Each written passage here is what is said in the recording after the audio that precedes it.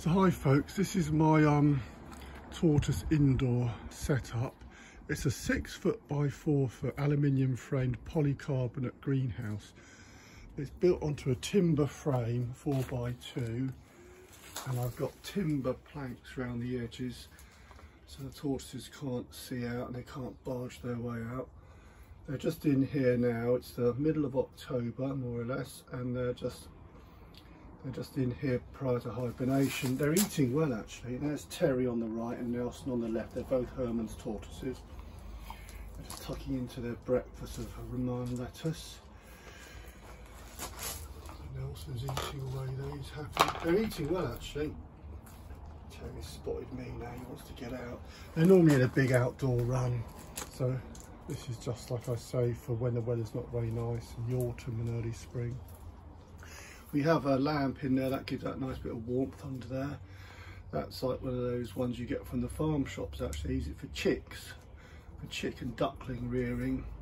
That's on a timer and they've got a sleeping box there with just like a little heat mat in there, water bowl.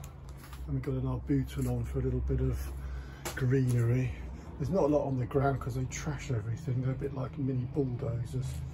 But like I say, this is not their not their main run. This is just the, uh, the, the, like I say, the early spring, autumn, and when the weather's miserable, if you're having a bit of a bad summer, they can come in here and carry on being active. So yeah, these greenhouses are pretty good actually. I got this greenhouse off eBay. I said it was 200 pounds. It's six foot by four foot. It's about the cheapest one you can get actually, but it's pretty robust actually. Like I said, I screwed it down on a timber frame, which I made myself got to get these things level otherwise you'll be in hell trying to get all the panes in.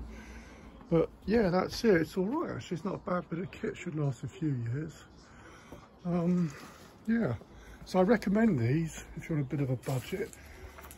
I can use it for growing tomatoes in as well. But yeah it's not for the faint-hearted when it comes to assembly though. It's like a mega Meccano kit. Every time i try to put it up it started raining. But we got there in the end it's got a little sliding door.